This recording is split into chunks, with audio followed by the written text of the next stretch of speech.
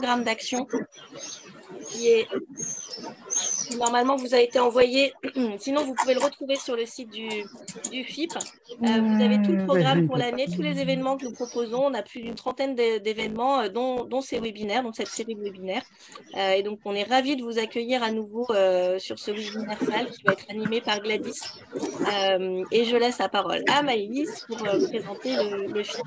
Et je vous invite à couper vos micros quand vous le pouvez. Bonjour à toutes et à tous. Au nom du FIPHFP, bienvenue à ce premier webinaire pour 2023 pour la méthode facile à lire et à comprendre. cette méthode facile à lire et à comprendre, c'est vraiment une méthode qui a pour but de traduire un langage dit classique en langage simplifié. Et elle permet de rendre l'information plus simple et plus claire. Et ce qu'on souhaiterait, c'est qu'elle soit utile à tout le monde. C'est ce qui va nous être présenté ce matin. Donc, euh, je vous souhaite la bienvenue à ce webinaire et euh, je resterai avec vous pour euh, prendre connaissance aussi de toutes ces informations. N'hésitez pas, le FIPHFP est à la disposition des employeurs publics. Vous avez, je pense, mes coordonnées. J'ai pris mes fonctions comme chargée de développement territorial avec Mohamed Ayadi il y a maintenant quelques mois. Et donc, si vous avez des, des questions, n'hésitez pas à me contacter par mail ou par téléphone. Bon webinaire à tous. Merci Maïs. Merci Maïs. Alors, est-ce que, tout, est-ce que vous voyez mon écran On voit ton écran, oui, c'est bon. Parfait. Parfait. Euh, donc, pour débuter ce webinaire, la première chose euh, que je vous propose, c'est vraiment de couper tout mon micro euh, pour que ce soit agréable pour, pour l'ensemble des participants. Euh, à partir du moment où vous n'intervenez pas, euh, voilà, n'hésitez pas à, couper vos micros euh, pour que du coup tout le monde puisse profiter de ce, de ce webinaire dans de bonnes conditions. je, vous, je vous explique aussi que vous aurez du coup la possibilité de poser vos questions en fin de webinaire. Donc, si vous avez des questions, vous pouvez les, les poser au fil de l'eau dans le fil de discussion. Donc, vous avez une, un petit onglet discussion où vous pouvez poser vos questions. On y répondra en fin de webinaire. Euh, je suis accompagnée de Fatima Zara, qui sera un peu la, modératrice euh, dans le cadre de, ce webinaire. Donc, n'hésitez pas à, poser vos questions. Elle, pourra du coup euh, les noter et on, pourra faire un question-réponse en, fin d'intervention. L'objectif de ce webinaire, c'est de mieux comprendre du coup le FALC, donc le facile à lire et à comprendre, comprendre ses enjeux. c'est aussi de pouvoir bénéficier de retours d'expérience d'acteurs de ce dispositif. Euh, donc, vous verrez qu'on vous partagera de belles expériences et ça vous donnera sûrement, des, idées pour mettre en œuvre du coup euh, le FALC au sein de vos organisations. Et puis enfin, on terminera par forcément répondre à vos interrogations sur le sujet. Euh, dans le cadre de ce webinaire, donc, vous l'avez entendu, Maëlys et, Françoise ont, débuté cette intervention, mais nous serons aussi accompagnés d'Avenir Arpey, donc, qui, est une entreprise adaptée à un ESAT euh, qui a un atelier Falc, donc euh, qui, partagera son expérience, ainsi que de l'entreprise Quena, qui est spécialisée dans l'accessibilité numérique et aussi euh, qui a une activité Falc. donc, ce webinaire se fera en trois grandes parties. La première partie sera dédiée à mieux comprendre les enjeux, les acteurs et l'origine du FALC. Puis, on, essaiera de comprendre comment il peut être vecteur d'inclusion. Et enfin, on échangera sur les bonnes pratiques euh, liées, euh, à, ce langage. Débutons ce webinaire par, du coup les enjeux euh, et les acteurs. Et je propose de laisser la parole à Avenir Arpey qui, va nous expliquer un peu comment, le FALC a été créé, pourquoi et pour répondre à quels enjeux. Est-ce que vous pouvez intervenir? Oui, bonjour. bonjour. à tous. Donc, on se présente. Hein, on est l'atelier FAC. L'atelier FAC d'avenir API. D'accord C'est pas ARPEI, désolé. Avenir API, désolé. OK. Donc, Avenir API, bah, c'est quoi Avenir API déjà? C'est une association, allez-y. Hein? Euh, c'est une association. En fait, il y a plusieurs CESAT dans les Yvelines.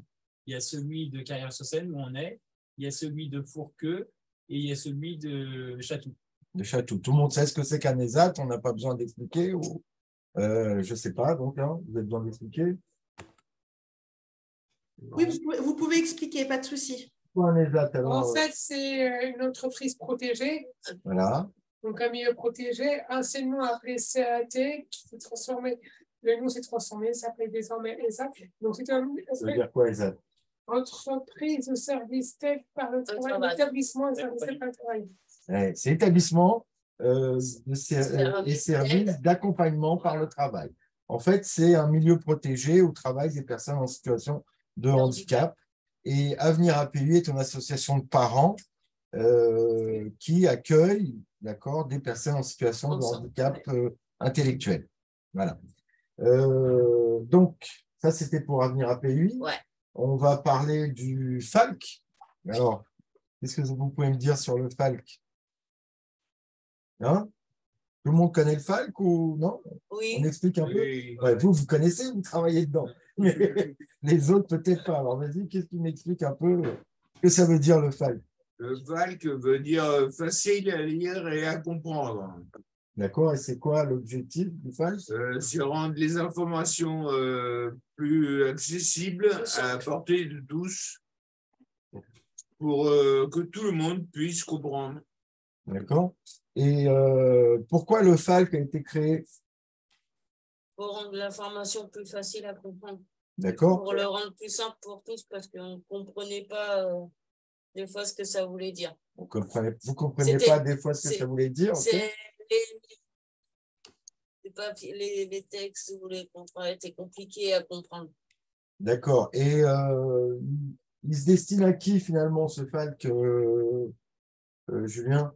Bah, À tout le monde. À tout le monde, mais il est à la base, c'est. Les personnes en situation.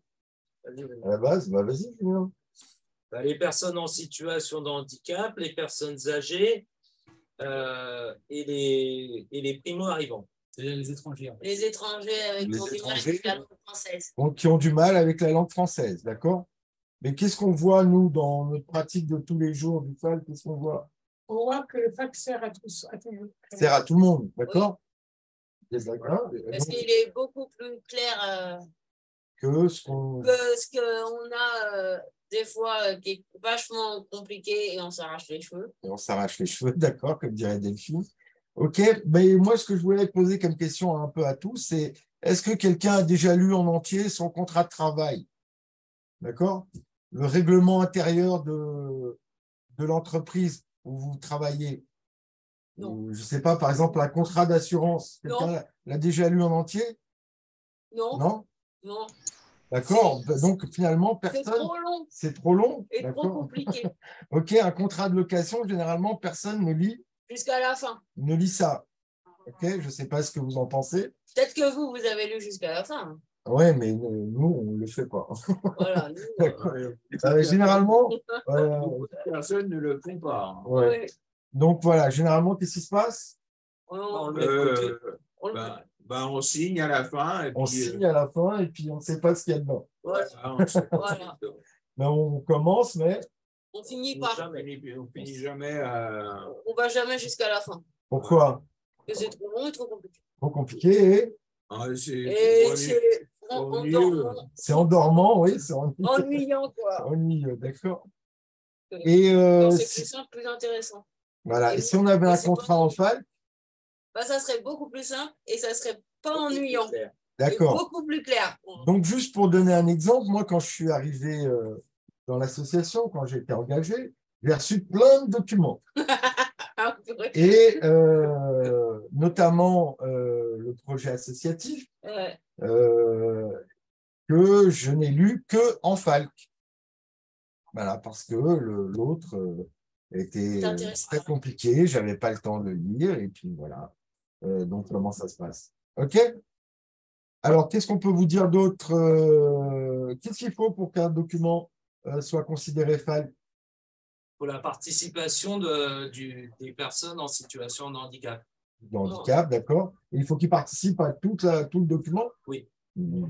Alors juste? Juste à la relecture aussi. Juste à la relecture. Juste refaire, euh, relire le texte, voir s'il est fac et s'il n'est pas fac, et eh ben, on leur met des commentaires et on leur explique pourquoi. D'accord. Donc, ça, c'est euh, le travail de l'atelier.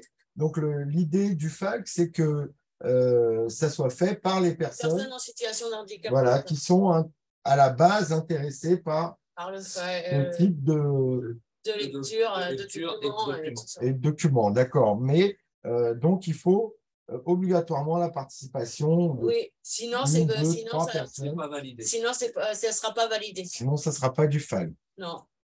Alors, que- quel est l'objectif du FALC Euh, on utilise des phrases euh, courtes. Voilà. Euh, on prend euh, les mots du langage euh, de tous les jours et euh, des images et des, euh, des pictogrammes pour euh, aider la- à la compréhension. Et qu'est-ce que ça apporte le FALC finalement? Euh, le FALC donne plus d'autonomie à la personne. Elle n'a pas besoin que quelqu'un euh, euh, lui explique l'information. Donc, euh, l'objectif finalement, L'objectif, c'est d'am- est d'améliorer l'autonomie des personnes euh, ayant des difficultés euh, de compréhension Bon. Euh, dans, leur vie de tous les jours ou euh, dans leur vie professionnelle ou dans les démarches euh, administratives.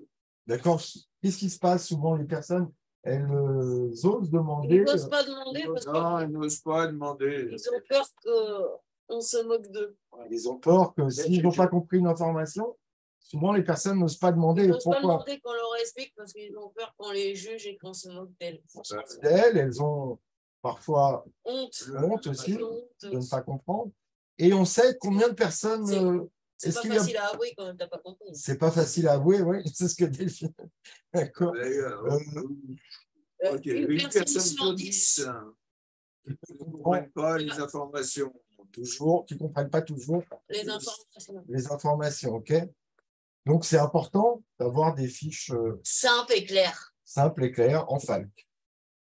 D'accord Euh, Voilà un peu ce qu'on voulait vous dire sur, euh, sur le, le FALC hein, euh, et les, les enjeux et les objectifs euh, du FALC. Merci beaucoup euh, pour, pour cette intervention très claire. Donc, vous l'aurez tous compris, l'intérêt de pouvoir impliquer des personnes en situation de handicap dans le cadre de la construction de votre communication FALC, l'important de faire en sorte que nos textes leur soient intelligibles et, et surtout, ça leur permet vraiment de pouvoir bah, participer à la vie en société, que ce soit leur vie personnelle ou leur vie euh, professionnelle. Euh, donc, euh, donc voilà, c'est vraiment l'enjeu de cette, de cette écriture.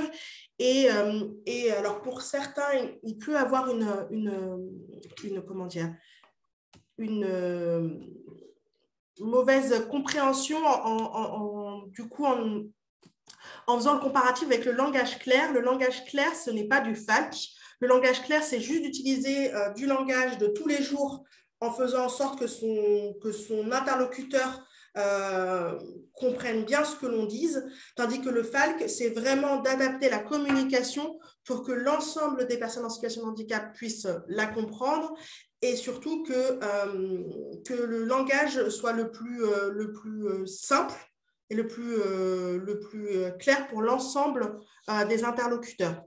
Donc, le, FALC va plus loin que le langage clair.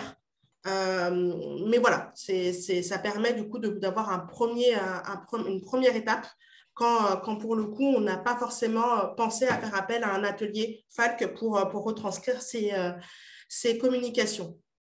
Ce qu'il est important aussi de noter, c'est que euh, dans, ce, dans, ce- dans le monde du FALC, il y a différents acteurs dans, dans cet écosystème. On a notamment donc, l'UNAPI euh, qui, euh, qui du coup produit des guides euh, et est en train de construire aussi un outil numérique, le CapFalc, pour, pour faciliter la transcription numérique euh, dans, ce, dans, ce, dans ce domaine.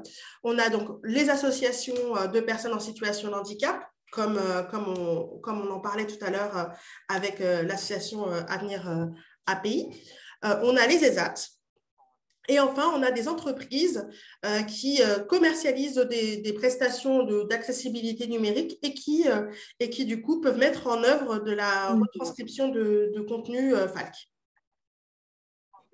Je crois que quelqu'un voulait intervenir. On a une question sur le chat qui demande est-ce qu'on a des exemples concrets de documents avec et sans fac Tout à fait, ça arrive dans le cadre de la présentation. Euh, eh bien, écoutez, moi, ce que je propose, c'est de laisser la parole à Quena et notamment à Rachel qui, qui, qui va nous partager son expérience dans le domaine. Bonjour Rachel. Bonjour à tous. Alors, je vais partager mon écran, si c'est possible, Gladys. Alors, est-ce que vous pouvez prendre la main? C'est bon? Ou pas? Euh, Non, il est marqué que c'est désactivé pour les participants. Alors, tac, tac, tac. Euh, tac. Est-ce que je peux vous autoriser à autoriser, autoriser, autoriser? Ça doit être dans la liste des participants normalement. Alors, hop.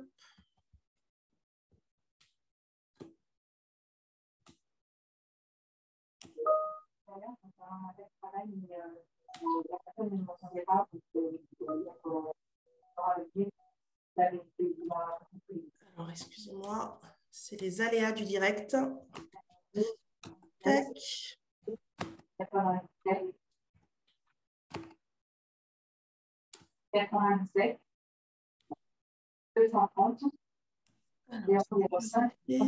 Tac, tac, tac.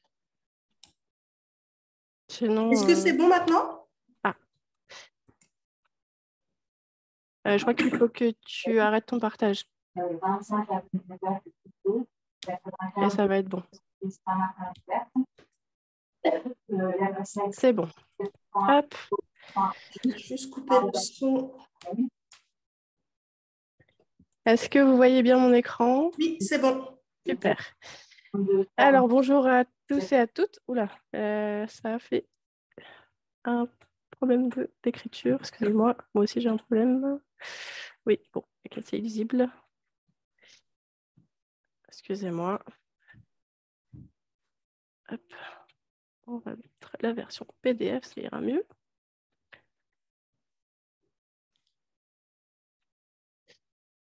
Ah.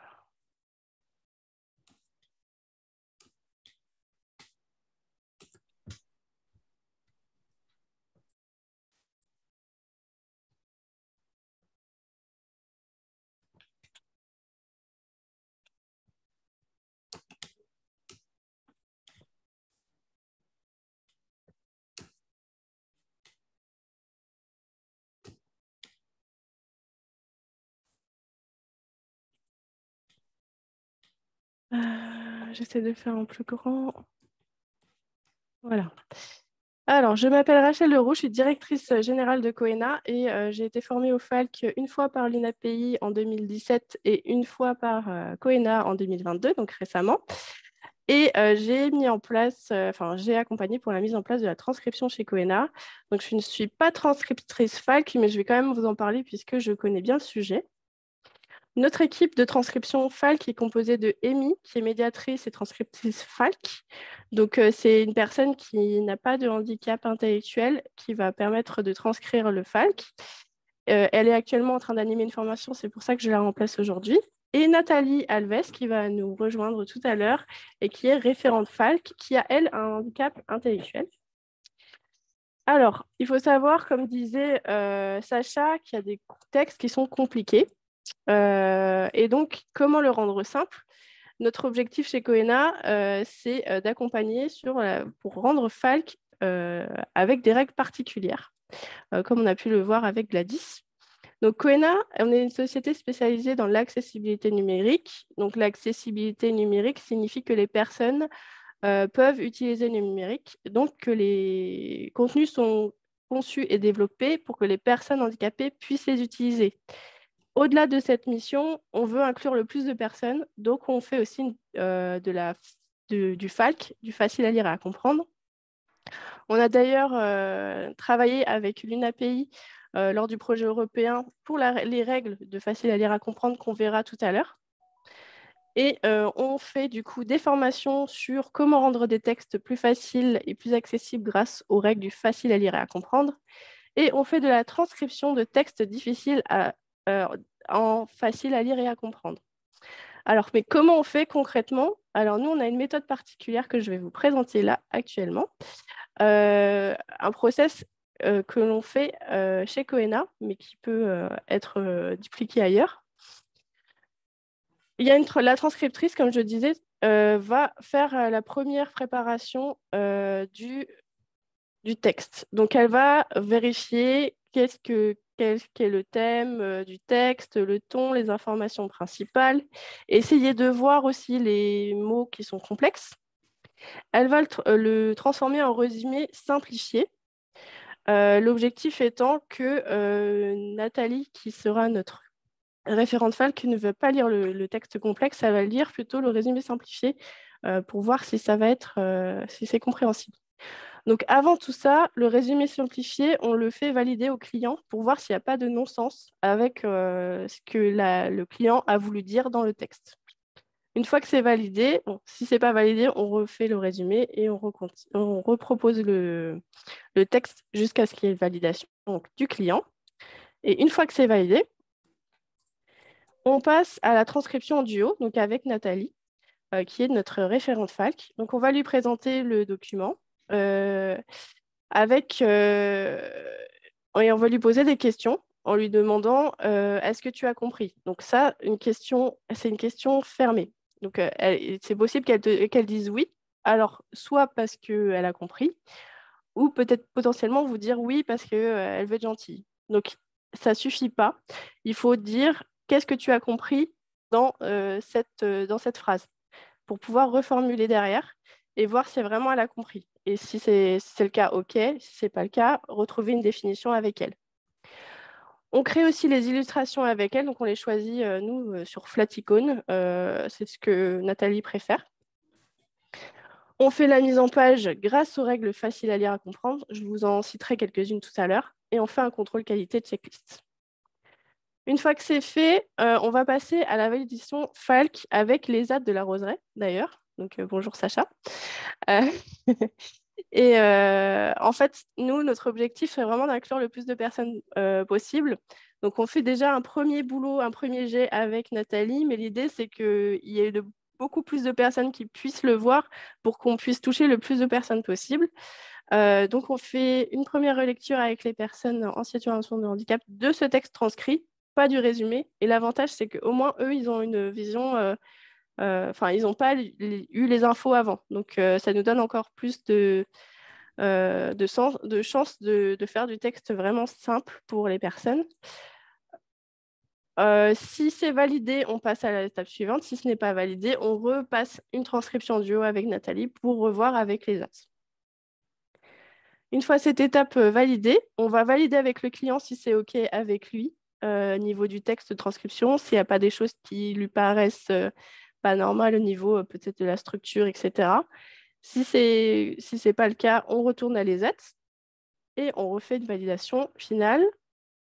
Et enfin, euh, une fois que tout est validé, tout est OK, on peut mettre le logo facile à lire et à comprendre. Et comme disait Sacha et euh, l'équipe de l'atelier Falk, on peut apposer ce logo facile à lire et à comprendre que si on a inclus les personnes en situation de handicap. C'est une des règles d'ailleurs, de toutes les règles du FALC. Si, euh, euh, vous n'avez pas mis conforme à ce point-là, vous ne pouvez pas mettre euh, ce logo. Donc, c'est très important. Et ensuite, une fois que le logo est mis et qu'on a crédité les personnes impliquées dans la transcription, on peut communiquer le document FALC. Alors, je répète ce que disait Gladys. Le FALC, ce n'est pas du langage clair ou français facile. Le FALC, c'est un art plus qu'une technique. La différence entre ces, documents, enfin, ce langage clair et le FALC, c'est qu'on inclut les personnes handicapées. Alors, quelques critères en détail, mais on le verra avec la démonstration qu'on fera avec Nathalie qui va me rejoindre.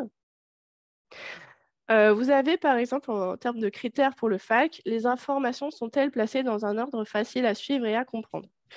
On prend l'histoire d'une recette Si on dit qu'il faut battre les œufs alors qu'on n'a pas dit en étape avant qu'il faut casser les œufs avant, c'est un peu compliqué. L'information principale est-elle facile à trouver? Donc, important d'avoir les informations bien en avant.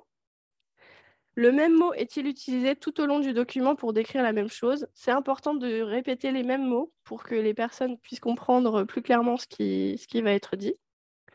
Les phrases sont-elles courtes? Et euh, des puces ou des numéros sont-ils utilisés à la place de listes de mots séparés par des virgules? Par exemple, si je reprends mon gâteau au chocolat, si je marque euh, pour mon gâteau au chocolat, il faut de la farine, virgule, du chocolat, virgule, des œufs. Ce sera plus clair de faire pour mon gâteau au chocolat, il me faut deux points, 1 du chocolat, 2 de la farine, etc. Mais pour que ce soit encore plus concret, ce que je vous propose, c'est de voir avec Nathalie. Euh, on, va faire un petit test sur un texte euh, que je vais vous présenter.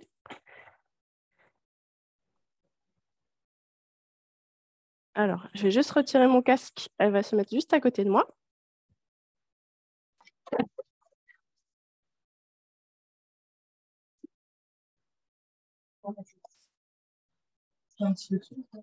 Euh, non. Est-ce que vous nous entendez toujours? Oui, très bien. Merci, Rachel. Ok, très bien. Bonjour, Nathalie. Bonjour. On te voit pas. Je vais mettre la caméra. On voit toutes les deux. Ah. Pour eux, elle est très basse. ça fait le Dalton. Alors, avant de commencer par l'étape euh, qui est. Attendez. De, euh, de voir avec Nathalie le texte, comme je l'ai dit tout à l'heure, il faut que la transcriptrice vérifie, euh, vérifie analyse de texte. Donc, c'est ce qu'on va faire.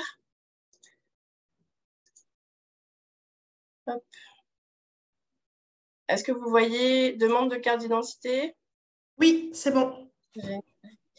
Donc, j'ai en fait, c'est ce tout petit texte qui est là, que j'ai recopié et collé euh, pour que ce soit plus clair et que vous voyez mieux. Euh, donc, euh, ce que j'ai fait, c'est que j'ai lu le texte et j'ai souligné ce qui me paraissait complexe pour moi, pour une personne déficiente intellectuelle. Et du coup, j'ai mis le retrait, titre d'identité, rendez-vous, j'ai un doute, donc je l'ai souligné quand même, personnel de l'état civil, qui ne fait dit pas, national, vos précautions, courtois, courbevoisien, courbevoisienne et situation particulière. Donc ces mots-là, ils me paraissent compliqués. Donc ce que je vais faire, alors pour, pour ce texte-là, c'est un texte qui est assez court et qui a l'air pas trop complexe. Euh, donc je ne vais pas passer par la partie résumé simplifié. Euh, je vais carrément faire la transcription et c'est ça que je vais valider avec euh, Nathalie. Euh, si ça avait été un rapport, euh, genre euh, le rapport du GIEC, là, j'aurais fait des résumés simplifiés parce que c'est long et qu'il y a beaucoup de termes scientifiques et compliqués. Donc, il aurait fallu faire une, étape intermédiaire. Donc, une fois qu'on a fait ça, j'analyse aussi un peu les règles FAC, donc je vais vous en donner quelques-unes. Hop. Le style d'écriture doit être facile à lire. On, préconise d'utiliser la, police Luciole. Là, ce n'est pas le cas, c'est trop, euh, c'est trop, euh, c'est pas assez lisible. Euh, la police doit être grande, elle doit être de 14 max. Là, ce n'est pas le cas non plus. Enfin, 14 ou plus, ce n'est pas le cas du coup. Chaque nouvelle phrase doit commencer sur une nouvelle ligne. Alors, il y a une phrase qui commence sur, sur la, même ligne. Vous allez voir quand euh, Nathalie va lire le texte ce que ça donne. Les phrases doivent être courtes. Alors, ce n'est pas le cas ici. Il y, a une phrase qui fait deux lignes. Donc, c'est quand même assez important. Donc, euh, vous allez voir aussi euh, la façon dont elle lit, ce que ça peut donner. Et l'ordre des infos, comme je disais tout à l'heure, avec le chocolat, la, recette de chocolat, on voit l'étape 2 avant l'étape 1. Ils nous disent le retrait des titres d'identité se fera uniquement sur rendez-vous en étape 2 en premier. Et ensuite, ils parlent d'obtenir un rendez-vous afin de déposer son dossier en étape, à la suite. Alors que c'est pas logique. Donc, je vais demander à Nathalie si elle veut bien lire le texte original. Je vais lui montrer du coup. Hop. À partir de là. À compter, euh, à compter de 8 mars, de, le retrait des. Tu vois bien Ou tu veux que je mette plus haut un peu plus haut. Ouais, comme ça, c'est bien. À compter du 8 mars, le retrait des titres d'identité se fera uniquement sur rendez-vous. Attention, en ce moment, le temps d'attente pour obtenir un rendez-vous afin de déposer un dossier de passeport ou une carte, nationale ou d'identité. Dès deux, trois mois, deux mois, deux, trois mois, le personnel d'état civil fait le maximum pour obtenir une demande qui ne fabrique pas et qui ne est, nationale. Merci de reprendre précaution quand et délai et surtout restons courtois. Courvoisiens, courvoisienne, en cas de, situation particulière. Appelez-nous le 01 71 05 70 00. Merci Nathalie. De rien, Rachel. Qu'est-ce que tu penses de ce texte? Bah, Le texte euh, a compté ça à partir. Euh, est-ce qu'il est compliqué pour toi? Est-ce qu'il y a des choses que tu comprends pas dans le texte? Bah, Le retrait, je comprends pas. Le retrait, euh, se mettre la carte d'identité à jour ou soit, euh, euh, soit rendre l'ancienne carte d'identité pour recevoir une nouvelle carte. et personnel de l'état civil? Le personnel de l'état civil, bah, c'est la mairie. C'est des personnes, c'est la mairie. Donc tu, tu comprends ce que c'est? Hmm. Ok. Bon, après, là, euh, pour le coup, il euh, faudrait retester aussi avec les apps de la roseraie, comme je vous ai dit. C'est bien de refaire une passe parce qu'il y a des certaines choses que, que, les personnes connaissent que d'autres ne connaissent pas. Et, et, en plus, Nathalie est chez Coena depuis ah, ah. Donc, elle commence à connaître des, des choses grâce ce qui est bien d'ailleurs. Mais euh, du coup, elle a une vision qui est moins. Enfin, ouais, qui est moins biaisé, on va dire. C'est pour ça que c'est intéressant de faire aussi avec l'atelier FALC euh, pour avoir une, une, passe. Alors, et du coup, comment ça se passe quand on fait une transcription? Je vous montre le doc texte euh, transcrit. Je vous donne la version vraiment transcrite. Donc, on voit ici, alors je vais mettre un peu moins grand, euh, que le texte est beaucoup plus gros, il est espacé, euh, que c'est des phrases courtes. On met des illustrations. Alors ici, on met beaucoup d'illustrations, mais c'est pas nécessaire d'en mettre partout. Euh, c'est pas une règle fac. On peut en mettre que si, enfin, vraiment quand on a besoin de, faire comprendre un message et que ça nous paraît intéressant de le mettre. Euh, voilà. Après, comme je disais tout à l'heure, on a euh, les listes à puces. C'est intéressant, important d'en mettre. Donc là, on en a mis pour donner les étapes pour demander sa carte d'identité. Euh, pareil pour les trois choses à, faire. Et donc, je vais demander à Nathalie de vouloir, de bien vouloir lire le texte. Alors, je vais mettre en plus grand.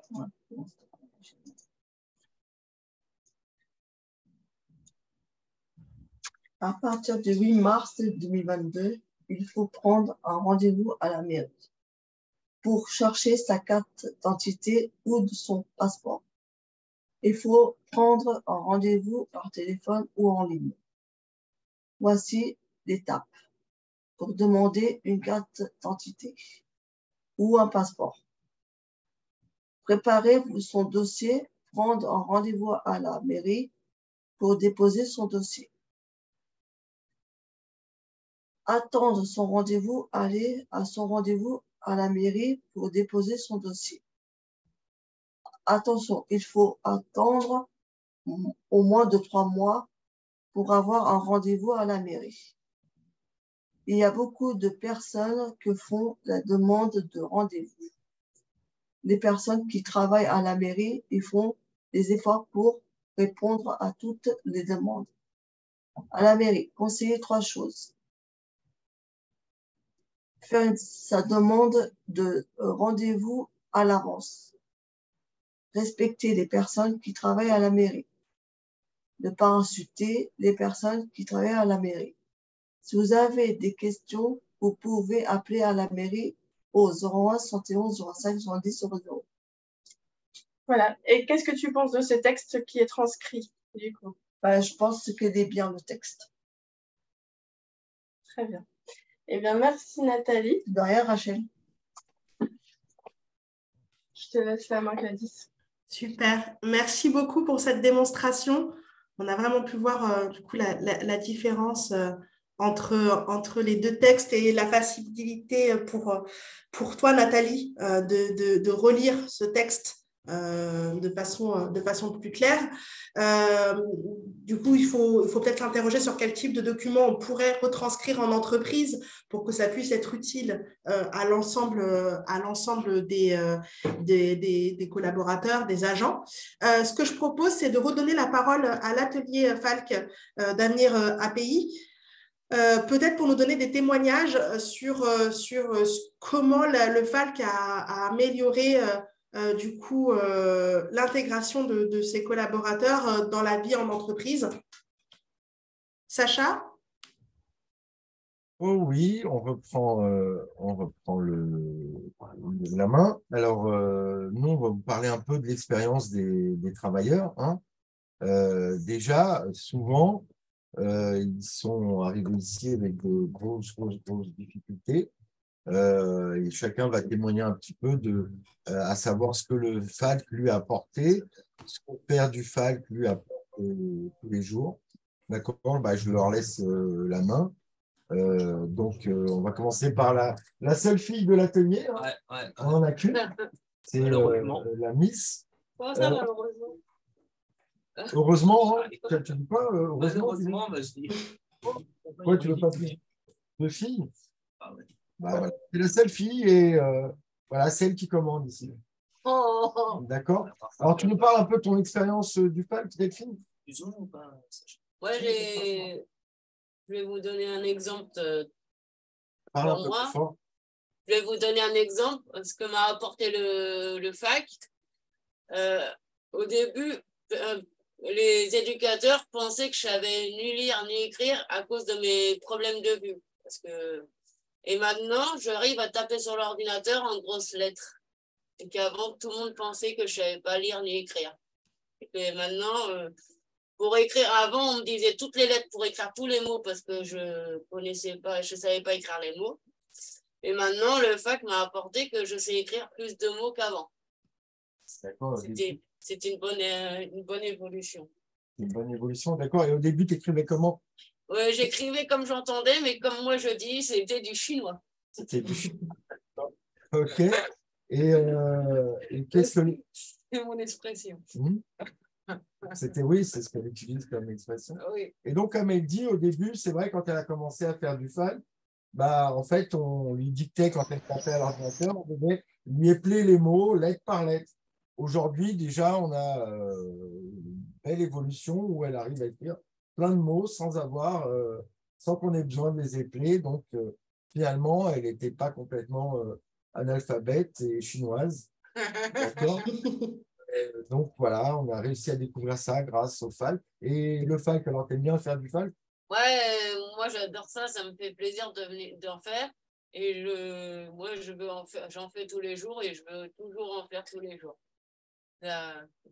Voilà. ça me fait énormément plaisir de rendre. En plus, ça peut... j'aime bien aider les personnes à comprendre pour faire les textes et tout, et les simplifier. C'est encore mieux de faire d'aider pouvoir aider les gens, ça fait plaisir. Au moins, on se sent bien utile. Ok, c'est tout, Delphine, tu veux dire autre chose? À la cool. À la cool, ok. Mm. Pour Delphine, on passe à qui? On passe à François? Alors, François, qu'est-ce que tu peux nous dire sur le FAL Alors, euh, comme j'ai un handicap psychique, euh, j'ai du mal à comprendre certains textes. D'accord. Et, euh, et, donc, en fait, euh, on essaie de simplifier le plus possible. Donc, on fait des recherches de synonymes pour, pour sur des dictionnaires en ligne pour trouver des mots plus simples.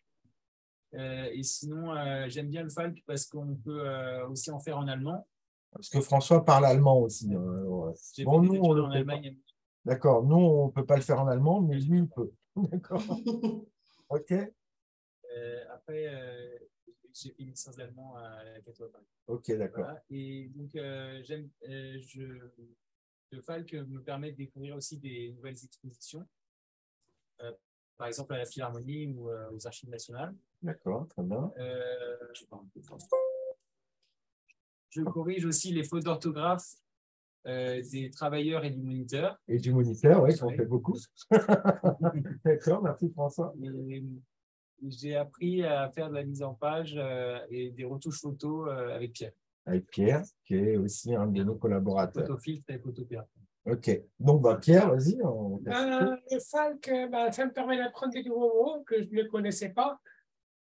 Ça me permet aussi euh, de faire la mise en page et de la retouche photo, donc pour adapter et modifier les pictogrammes. Donc, il n'y a pas seulement Photofiltre, Photopea, mais aussi Photoshop. Maintenant, c'est monté. Donc, le Falk, c'est beaucoup plus intéressant que le conditionnement. Bah, sûr. Ah oui, oui, je pense qu'il y en a beaucoup qui vont le dire derrière moi. Ah bon? Tu es d'accord avec nous ou pas? Oh oui. Hein Voilà. Vert. Donc, on apprend de nouvelles choses euh, sur l'histoire, la culture, les démarches administratives. Par exemple, aussi comment voter? Bon, je vais voter déjà depuis longtemps. Euh, c'est surtout que je ne connaissais rien à l'assurance auto. Donc, depuis qu'on a eu. On que- ben, on a appris euh, déjà beaucoup de choses et euh, ben, je fais partie de la TS5 et ça me permet de travailler surtout en autonomie. D'accord. Voilà. Donc, euh, Pierre est devenu beaucoup plus autonome depuis euh, qu'il fait partie de l'atelier FAL. D'accord Et puis, on va demander à Richard, qui est notre. euh, euh, un peu le pionnier du FAL qui crie avec la retraite. Ça se voit pas, il est très jeune. Bonjour tout le monde. Alors moi j'ai commencé en 2014. Euh, le FALC m'a appris à écrire euh, un texte en plus simple. Il m'a permis de découvrir des musées, de la culture. Euh, qu'avant je ai pas. euh, J'y allais pas. J'y allais pas, euh, alors que je pouvais y aller. Euh, mais euh, par exemple, je ne connais pas la Philharmonie de Paris. Euh, euh, J'aime bien rencontrer aussi les clients sur place euh, ou en visio euh, pour travailler ensemble sur, euh, sur les textes. Euh, J'aime bien, que- je prends plaisir à, à transcrire les textes euh, qu'on nous propose. Euh, je préfère euh, transcrire, transcrire c'est pas évident, euh, les textes euh, de faire et de faire du, que de faire du conditionnement. Euh, je m'en suis plus utile et plus détendu. D'accord. Et ouais, donc le FAL conditionnement, conditionnement c'était quoi finalement? Un? Euh, C'est c'est- C'est emballé, c'est le travail à la chaîne. c'est le sachet, C'est le mettre en Sachet, le sachet. C'était euh, quasiment bon. Ah. d'accord. Et, euh, et je participe là, c'est c'est dernièrement, c'est- je participe beaucoup à un projet qui s'appelle le, le S3A, où on, a sensibilise, on, où on sensibilise les personnes euh, sur l'accueil et l'accompagnement des personnes en situation de handicap euh, mental. Voilà. Voilà. Et bah, c'est Julien alors Il nous reste qui, Julien? Bah, vas-y, Julien. Vas-y. Non, non, mais non, pas pas ça. Le disque Non, c'est naturel, Julien. Non, mais d'accord. Ok. Au niveau de la vue, c'est. Euh, donc, euh, j'ai connu, j'ai connu la transcription sur papier. Euh, j'ai commencé il y a, il y a longtemps. C'est beaucoup plus. Euh, Ah oui, beaucoup plus enrichissant que le, ce, que le conditionnement. que le conditionnement. Ah, oui. J'en suis On est énormément. Euh, et en fait, euh, en fait, c'est vrai que c'est vrai que faire faire partie du FALC, en fait, c'est beaucoup plus enrichissant que, que, que faire du conditionnement. On rencontre du, on rencontre de, des clients, euh, on bouge, on bouge davantage. Donc, euh, et moi, ça m'a apporté beaucoup de choses, c'est-à-dire que euh, la- un peu plus d'assurance que ce que j'avais avant, et, euh, et puis un peu plus de liberté au niveau écriture. Voilà, ça c'était les témoignages de, de quelques-uns de nos travailleurs de l'atelier, d'accord Ça, ce sont les travailleurs les plus réguliers. Là, c'est les habitués. Euh, Ouais, les ça. habitués, voilà. Qui pue, on est. On- J'arrive pas à m'en débarrasser, c'est très difficile. Ouais. Voilà. Euh, Tu n'y arriveras pas. Euh, Sacha, il y a combien de travailleurs dans l'atelier? Bah, écoutez, on a en fait euh, 11 travailleurs. Euh, où ces cinq-là qui sont pratiquement fixes. Ouais. Euh, et d'autres travailleurs qui nous rejoignent en, cours- en cours de semaine Une journée. à base de deux- une, un ou deux jours par semaine et euh, qui permettent, euh, ça leur permet aussi de développer des compétences, euh, notamment euh, bah, au niveau de la compréhension, au niveau de la lecture, au niveau euh, euh, de l'utilisation de l'ordinateur. D'accord Donc, on a euh, le FALC chez nous, n'est pas seulement une activité économique. hein. Comme vous avez pu le voir dans, le témo- dans les témoignages, euh, je pense que tous ont euh, vraiment évolué au niveau de- des compétences et de leur, euh, de leur assurance aussi, de leur auto-estime en faisant du FALC. C'est-à-dire qu'on passe vraiment, c'est vraiment une, une activité difficile, d'accord? Intellectuelle. Ils ressortent d'ici le soir. c'est des, c'est des zombies. D'accord Ouais, mais Mais euh, je pense qu'ils sont ravis de. On adore faire ça. Ils adorent faire ça, voilà. Euh, en gros, c'est ça. Et qu'est-ce, quelle est l'utilité finalement euh, du FALC dans le milieu du travail? Bah, C'est aussi de pouvoir euh, rendre toutes les informations euh, accessibles euh, à, à tout le monde. Euh, nous, on travaille dans un milieu protégé, euh, donc on a l'habitude de, de transcrire, par exemple, des textes pour euh, un ESAT. Un ESAT, c'est un lieu de travail euh, comme, euh, pas tout à fait comme les autres, mais euh, à la base, on essaie vraiment de recréer euh, un lieu de travail euh, qui ressemble au monde ordinaire euh, pour que les personnes déjà puissent euh, s'adapter au travail et puissent euh, plus tard, si elles le souhaitent, hein, euh, rejoindre euh, d'autres entreprises, d'autres employeurs à, l'extérieur de l'ESAP. C'est l'objectif euh, qu'on se fixe, mais bon, certains n'iront jamais, d'autres veulent y aller, comme euh, euh, Julien, voilà. Euh, déjà, qui a déjà un pied euh, une fois par semaine. un pied une fois par semaine dehors. Donc, voilà. Et donc, on a simplifié de nombreux documents. On fait des affiches pour les ateliers en- avec les consignes de sécurité, les règles, par exemple, les règles, les règlements de l'ESAT. Euh, en début d'année, euh, on a changé l'histoire des. euh, avant, ils avaient euh, l'histoire des RTT et personne ne comprenait. Donc, tous les jours, on avait des gens qui allaient voir la secrétaire pour, euh, pour lui demander des informations. Euh, donc, à partir du moment où on a fait des documents en FALC, on a euh, nettement moins de personnes qui vont euh, demander des informations à la secrétaire. Voilà, tout ça, ce sont des, des choses euh, euh, qui peuvent aider dans le milieu du, du travail. Super. Merci beaucoup. OK Merci euh, Sacha.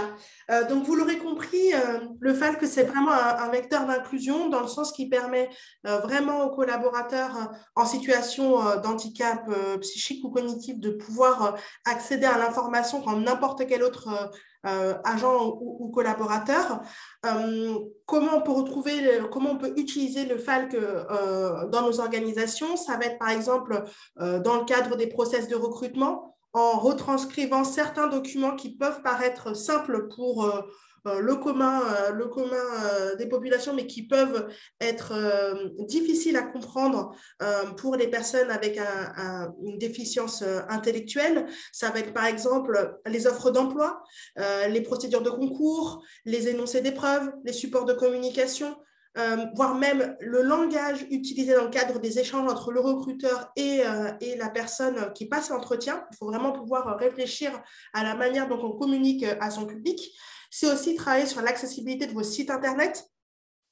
Euh, il y a une réglementation hein, sur, sur, cette, sur, cette, notion, mais c'est vrai qu'aujourd'hui, on se rend compte que beaucoup d'employeurs n'ont pas de site Internet accessible. Or, si vous voulez demain pouvoir ouvrir euh, vos, organisations à l'ensemble des personnes en situation de handicap, il faut pouvoir travailler euh, sur ce sujet. Ça va être au moment de l'intégration où là, on va plutôt euh, proposer des documents type livret d'accueil, quittérage, procédure interne en FALC. et puis pareil, on va faire attention aussi à la manière dont on va s'exprimer, dont on va formuler ces explications pour que ce soit intelligible pour, pour, son, pour son interlocuteur. Et puis, le FALC peut être aussi euh, un, outil de maintien dans l'emploi, puisque, euh, puisque vous, vous, pouvez avoir des personnes qui euh, vont développer un, handicap intellectuel à la suite d'un accident de la vie. Et donc, c'est comment faire pour adapter leur poste en utilisant ce langage. Ça va être aussi pour leur communiquer des actions, notamment dans la procédure de reclassement. on sait que ce sont des procédures qui peuvent être plus ou moins complexes. Donc, si jamais vous devez reclasser un agent avec ce type de pathologie qui ne comprend pas la procédure de, reclassement ou les documents qui lui sont mis à disposition, euh, bah voilà, c'est d'autant plus l'exclure euh, de, euh, de, de, cette procédure de reclassement. Donc vraiment, le FAC est un outil qui peut être utile à tous. En effet, pour les personnes qui ont un handicap intellectuel, alors très large, hein, les handicaps intellectuels, ça peut très bien être aussi des personnes qui ont, qui ont par exemple des troubles 10, où le FALC peut être vraiment un, vrai, euh, euh, ami dans le cadre de leur, euh, travail, mais aussi les personnes qui vont avoir des déficiences visuelles et certaines autres pathologies qui vont leur permettre du coup de pouvoir plus facilement comprendre, plus facilement utiliser les outils. Ce que je vous propose, c'est qu'on euh, termine ce webinaire sur euh, quelques exemples de bonnes pratiques et je vais notamment euh, laisser la parole à Rachel de Coena qui va nous donner des exemples d'actions qu'ils ont pu mettre en œuvre dans le cadre d'organisations publiques. je sais qu'on avait parlé de prestations dans la fonction publique hospitalière, territoriale et autres. Donc, je te laisse la parole, Rachel. Merci. alors, on a travaillé avec plusieurs euh, structures euh, différentes et variées, euh, notamment la mairie de Courbevoie, pour laquelle justement on a vu un petit texte tout à l'heure, où on a animé une formation pour eux à destination du, de leur service de communication.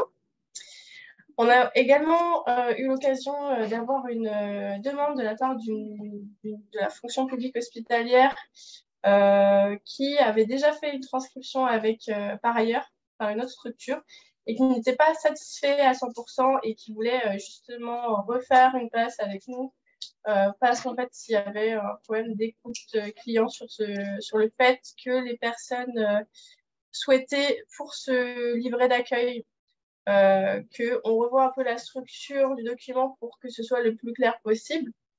Et du coup, ça n'avait pas été adapté à leurs besoins. Alors, nous avons aussi Young Arkers, qui est un projet européen sur lequel on est leader euh, et avec lequel on travaille avec des universités et des écoles primaires. Euh, donc, comme disait Gladys, c'est vraiment euh, inclus, on inclut le plus de personnes possible et ça peut servir, c'est utile, enfin nécessaire pour certains, utile à tous. Et pour le coup, là, on a utilisé le FALC euh, pour créer un parcours euh, sur l'architecture des, anciens bâtiments historiques, mais à destination des jeunes, donc des enfants. Donc, du coup, l'idée, c'est vraiment que ce soit le plus simple possible. Donc, on a utilisé la méthode FAC pour que ce soit le plus clair et le plus simple possible pour eux. Et enfin, euh, je voulais parler aussi de l'Association des archivistes français, qui n'est pas, du coup, un secteur public mais privé, mais pour lequel on a fait une transcription avec eux. Donc, je pourrais vous envoyer le lien vers la transcription, donc vous, pourrez voir l'avant-après de ce qu'on a fait. et en fait, c'était dans le cadre du mois de l'engagement. Ils ont pu rendre transcrit en FALC leur document qui parlait archives et inclusion. Et c'était euh, très intéressant de le faire euh, et très difficile euh, parce qu'en fait, c'était un, un, document de 60 pages, donc beaucoup de textes. et c'était des articles, donc des personnes qui parlent différemment. Et sur un sujet qui était complexe, puisqu'on parle de stigmates, de colonisation, etc. Donc c'est complexe, mais ça a été très facile avec les interlocuteurs. Donc c'était une très bonne expérience. Voilà pour moi. Merci Rachel. Euh, Sacha, peut-être euh, que vous pouvez nous donner des exemples euh, de, prestations que vous avez pu mettre en œuvre?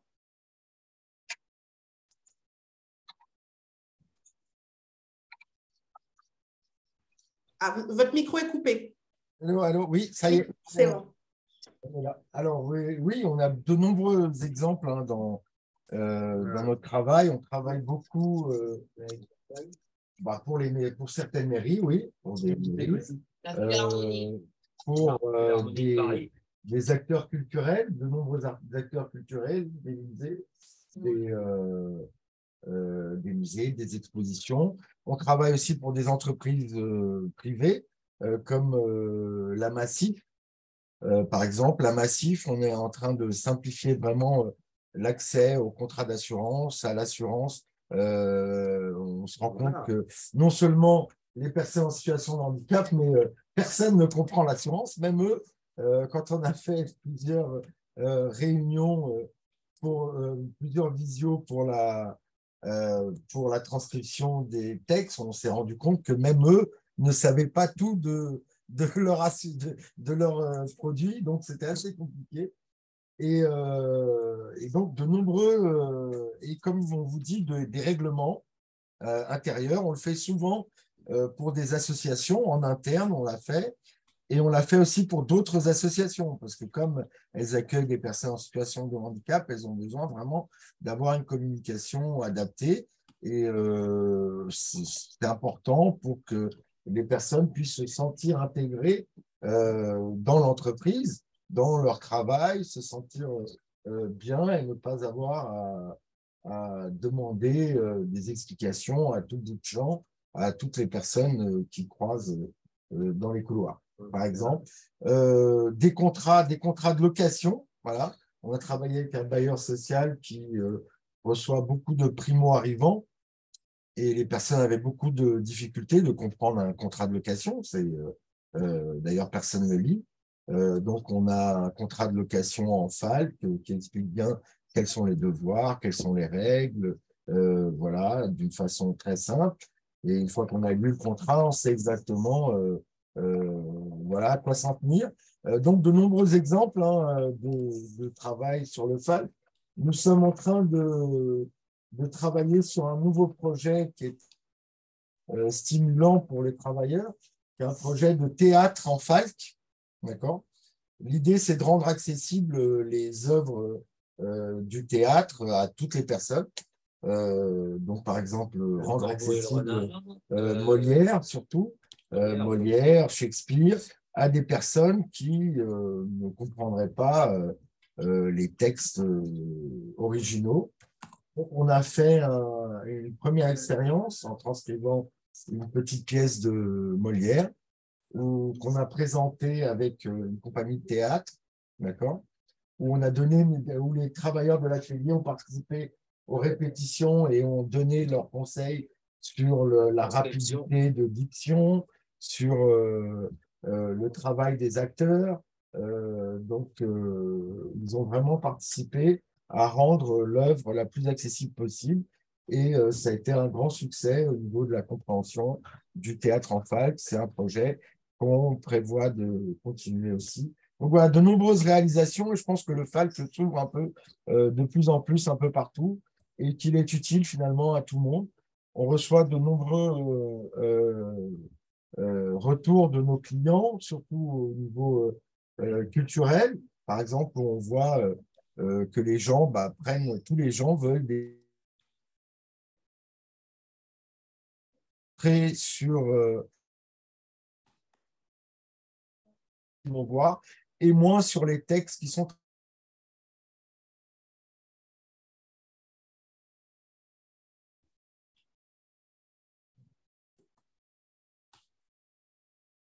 Ah, je crois qu'on a un problème de réseau.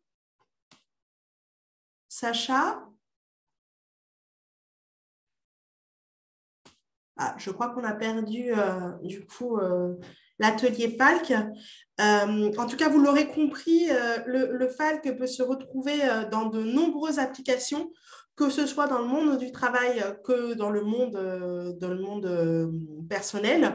Euh, vous l'aurez vu, hein, voilà, que ce soit dans le théâtre, mais aussi dans, le monde du travail au moment du recrutement, de l'intégration, du maintien dans l'emploi.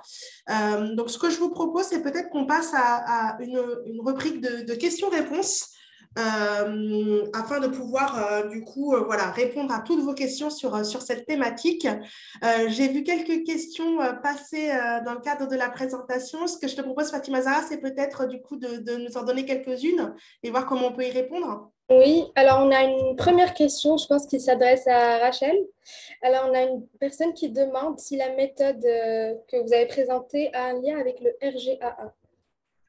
Alors, euh, il y a un lien qui est indirect en fait. Le RG2A, il y a une partie qui est euh, sur le triple A qui n'est pas obligatoire sur la partie euh, justement rendre accessible des documents en FALC. et en fait, on a un peu copié la méthode du RG2A pour faire avoir des règles bien particulières dans le FALC avec si c'est conforme, on met C, si c'est non conforme, on met non conforme, etc. Et il faut avoir de mémoire 80% de conformité euh, pour euh, pouvoir dire qu'on a fait du FAC, plus le fait d'inclure des personnes en situation de handicap. Sinon, on ne peut pas dire qu'on a fait du FAC. D'accord. C'est bien. Euh, on a une deuxième question sur le chat. Donc, une personne qui demande quels sont les intervalles de coût pour faire valider des documents FALC par les AT ou autres organismes? Alors, euh, bah, je laisserai Sacha peut-être euh, dire sa méthode, mais je pense qu'on a pris la même. Euh, en fait, ça dépend de la complexité du texte, déjà, pour notre part. on regarde s'il est simple ou complexe et le nombre de caractères. Et avec ces données-là, on peut vous donner une fourchette de prix de, pour la transcription FALC. Après, pour vous dire euh, quelle fourchette, euh, c'est un peu compliqué comme ça, mais voilà. C'est en fonction des besoins et des projets. Voilà, c'est ça. Sacha, peut-être un retour On peut rajouter quelque chose, parce que là, en fait, la question porte essentiellement sur la validation, d'accord? Euh, C'est ce qu'on fait souvent. donc, porte essentiellement sur la validation. D'abord, bah, on, on, regarde le texte, on voit s'il est falque ou relativement falque ou pas falque du tout. Parce que euh, souvent, les personnes nous envoient des textes en disant euh, qu'ils ont fait du falque et finalement, on doit transformer 80% euh, du texte. Donc là, on ne parle plus de validation, on parle vraiment de transcription. Et quand c'est un texte qui est relativement falque, relativement bien, bien fait en appliquant les règles, une validation, en fait, c'est pas en intervalle de prix, on doit être chez nous, on est à 30 euros le, le 1000 caractères normalement. Vous voyez? Euh, donc, ça fait partie de la validation euh, et de la correction finalement. Et on fait euh, finalement une visio avec le, le client pour, euh, pour se mettre d'accord sur les termes qu'on a changés et pourquoi on les a changés. Vous voyez? Parce que le client pense parfois que ah, bah, ce mot-là, il est facile. Mais quand on demande à l'atelier, bah, on se tourne vers chacun euh, des travailleurs de l'atelier, et c'est eux qui décident finalement si le mot est facile ou pas. C'est pas à nous de le faire parce que on n'est pas les experts, ce qu'on appelle les experts utilisateurs. Bah, ce sont eux et c'est euh, le dernier mot leur revient finalement. Voilà. Super, merci beaucoup Sacha. Je vois que Kirija a pas mal de questions. Euh, on a une autre question. Euh, on a une personne qui demande si les textes de communication doivent être validés par un référent FALC. Alors, le référent Falc, euh, c'est euh, en interne ou en externe la question en fait? C'est doit-on avoir un, référent Falc en interne ou en externe? Je ne sais pas. Donc, la question, c'est les textes de communication, est-ce qu'ils doivent être validés par un référent Falc Donc, je ne sais pas si la personne peut, peut nous, donner, nous, donner plus d'explications enfin, par rapport à ses attentes. Donc, il dit en interne et en externe. OK. Alors, je ne sais pas si euh, Rachel euh, et, Sacha, vous pouvez, euh, vous pouvez répondre? Oui, alors l'idée, c'est que en, en interne, en externe, oui, c'est sûr. Faut qu'en fait, quand on dit référent fac, pour nous, c'est des personnes qui sont en situation de handicap. Donc, il faut vraiment inclure les personnes en situation de handicap pour valider et pour que ce soit vraiment du facile à lire à comprendre. Sinon, c'est que du langage clair ou du langage simplifié.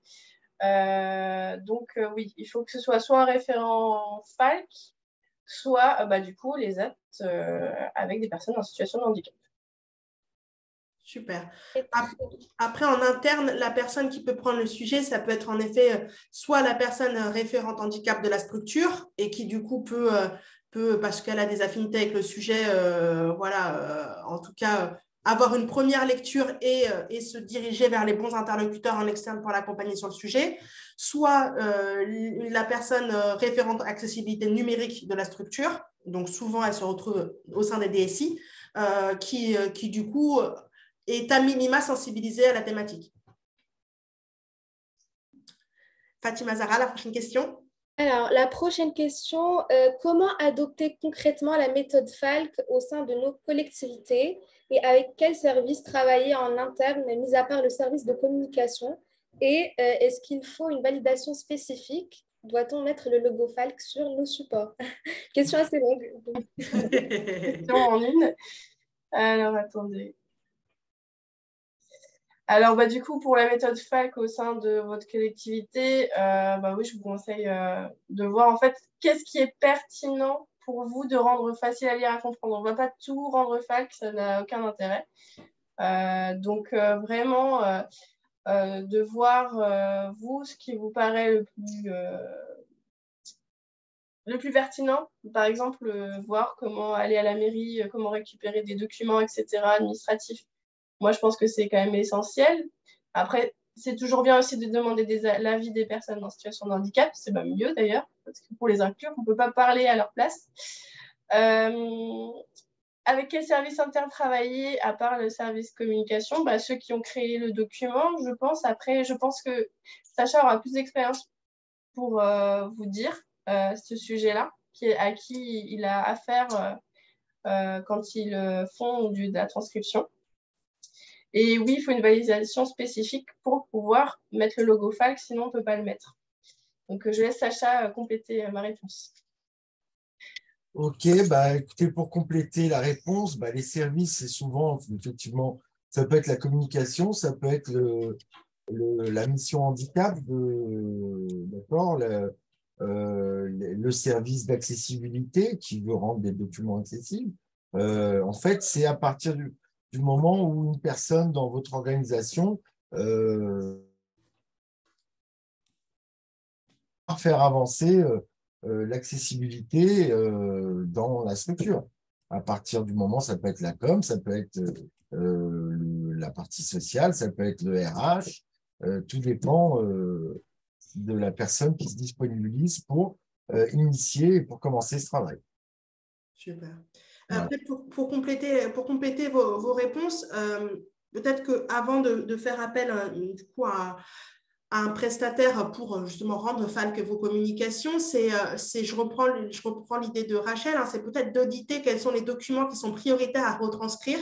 Et pour ça, c'est peut-être d'aller interroger vos collaborateurs en situation de handicap sur quels sont les documents, enfin, sur les documents qui leur, ont été mis à disposition lors de leur intégration ou euh, au fil de leur euh, carrière, quels sont les documents où ils ont rencontré des difficultés de compréhension, euh, soit parce qu'en effet le document était long ou le langage était plutôt compliqué et autres.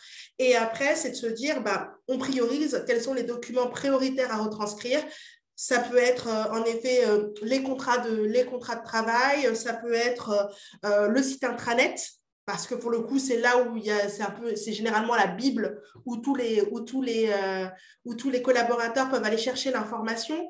Euh, ça peut être aussi le règlement intérieur, bah, parce qu'on le sait, hein, c'est un peu le cadre de jeu euh, dans une organisation. Donc, si le cadre de jeu n'est pas compris par l'ensemble, c'est compliqué de pouvoir après sanctionner. Voilà, c'est de se dire, voilà tous les documents qui sont produits par l'organisation par année. Euh, parmi ces documents, quels sont les documents qui nous semblent indispensables que tout le monde en ait la compréhension pour pouvoir bien les appliquer Et après, une fois qu'on a ces documents-là, bah, vers quel prestataire on peut, euh, euh, se, retourner pour pouvoir bah, lancer cette, cette procédure FALC Fatima Zara alors, est-ce qu'il faut obligatoirement travailler avec un ESAT ou un EA pour confectionner les documents FALC c'est mieux si vous avez personne en situation de handicap intellectuel euh, dans vos locaux, oui. C'est fortement conseillé. Surtout que l'avantage, c'est qu'on a tous une expérience euh, des règles FALC. Donc pour une première, euh, moi, je conseillerais de le faire. C'est ça. Pour, pour du coup rester dans cette logique de on inclut la personne en handicap psychique dans la construction de la communication qu'on veut, qu'on veut lui, lui prodiguer. Je voulais juste rajouter euh, un petit élément, c'est-à-dire que nous, on travaille euh, en accueillant des personnes dans notre atelier. Par exemple, si on, travaille sur un document euh, d'une organisation, on peut accueillir la personne qui va voir un peu comment on travaille et qui va lui permettre aussi d'améliorer ces documents, les documents qu'elle va essayer de refaire en FALC après et qu'on pourra valider s'il le faut. Donc, en fait, c'est une sorte de, formation pratique qu'on offre aussi à nos clients qui peuvent venir quand ils veulent, euh, euh, quand on travaille sur leur texte dans notre atelier. C'est absolument, euh, ils sont les bienvenus. Voilà. Et on a notre café, bon. D'accord? Merci beaucoup. C'est plus, c'est plus clair. Merci. Euh, on a une autre question. Euh, combien de temps faut-il pour produire un document FALC pour une personne en emploi en période d'essai? Est-ce qu'il peut y avoir une grande réactivité? Alors, je ne comprends pas l'histoire du personne en emploi en période d'essai, mais pour nous, en fait, ça dépend vraiment de la complexité, encore une fois. Euh, Nathalie, elle est avec nous que à mi-temps, parce qu'on ne peut pas faire 100% euh, de temps euh, en fac, c'est beaucoup trop fatigant. Euh, donc, en fait, en termes de, de nombre de jours de, pour le faire, c'est pas beaucoup, mais vers, au niveau du délai, ça peut s'allonger en fonction du, texte. Volume. Et, Alors, Peut-être pour redonner le contexte, je pense que c'est euh, si demain ils intègrent une personne euh, en situation de handicap psychique ou, euh, ou une personne qu'ils ont déjà en entreprise, sous quel délai ils peuvent leur, lui mettre à disposition des documents en FALC pour, pour garantir son intégration. Je pense que c'est plus ça. C'est à partir du moment où ils ont, ils ont identifié le besoin, sous quel délai vous êtes en mesure de pouvoir produire les documents pour que la personne y ait accès. Ah, ça très très vite. Hein. Euh, après, ça dépend encore de la complexité du document, mais euh, euh, si c'est, je dirais, en deux semaines, trois semaines, on a fait un document. Après, ça dépend vraiment de la complexité du document et de la taille, etc. Donc, je ne peux pas trop vous le dire, mais c'est assez rapide. C'est pas six mois, trois mois ou des choses comme ça. Ok, super. Et on a une, une autre question. Euh, alors, une personne qui dit que dans la charte d'accessibilité du gouvernement, il est écrit qu'il vaut mieux écrire en chiffres les chiffres inférieurs à 10 en lettres. Qu'est-ce que vous en pensez? Alors, de mon avis, euh, il y a une règle qui dit que le mieux, c'est de mettre les chiffres en, chiffres et pas en lettres. Euh, après, quand c'est des gros chiffres, par exemple 5 000, 100 000, nous, on n'écrit pas le chiffre. On, dit beaucoup ou beaucoup, euh, histoire que ce soit compréhensible. Après, je laisse euh, Sacha euh, donner son avis, puisque en fait, c'est plutôt aux, personnes qui sont concernées de dire ce qu'ils en pensent. vous en pensez On écrit en lettres Non, non, on écrit en en chiffres, nous. Non, on écrit toujours en fil. À part peut-être premier, hein de temps en temps, un, on écrit en lettres, mais euh, généralement on écrit toujours en chiffres. donc voilà, quoi. on n'a pas de, de 1 à 10, que ce soit de 1 à 10. Et comme disait Rachel, les nombres très très grands sont difficilement compréhensibles par les personnes qui ont un handicap, une déficience intellectuelle. Donc finalement, quand on est obligé, quand le client veut qu'on le mette, on, on rajoute que c'est vraiment beaucoup ou c'est vraiment peu. Euh, vous voyez, donc euh, on met le nom, mais on rajoute que ça, c'est vraiment beaucoup. On, explique que la quantité, euh, parce que si on donne un nombre de 5000, 5000 personnes, c'est pas beaucoup à l'échelle d'un pays. 5000 personnes à l'échelle d'une ville, d'une petite ville comme la nôtre, ça peut être énorme. Donc voilà, on explique la, la signification du, du nom qu'on utilise. Vous recontextualisez le chiffre. Tout à fait. Super, merci. On a, je pense, une dernière question. Euh, donc, quelqu'un qui demande est-ce que tous les ESAT et EA sont agrémentés pour euh, construire des documents FALC